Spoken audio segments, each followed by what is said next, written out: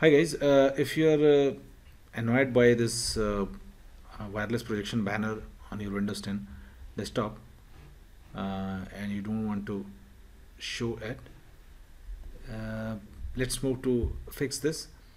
The first method is a quite easy one as a temporary solution and that is just right click on the taskbar, click on task manager and now just go to details and this is alphabetically sorted. Just scroll down and find explorer.exe right click click on end task and click on end process.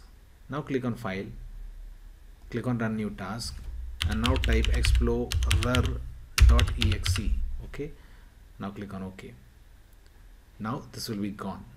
But this is a temporary solution. If you want to permanently uh, get rid of this what you have to do just go to C then go to Windows and then go to system32 folder okay? Let's go inside it. Now you have to find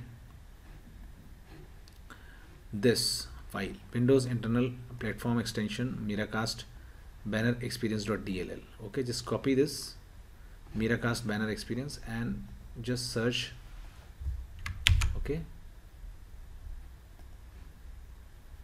now you will get this. Basically we want to uh, rename this file but uh, because we will uh, we cannot rename it until we get the ownership of it okay? So right click on it click on property now click on security now click on advanced now click on change now click on advanced now click on find now. Now just choose your username here. Now click on ok now click on apply. Click on ok click on ok okay. Now again click on property. Click on security.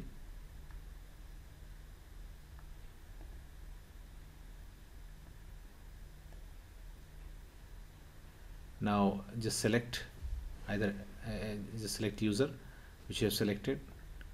And now fully allow this click on apply click on ok and ok now try to rename this.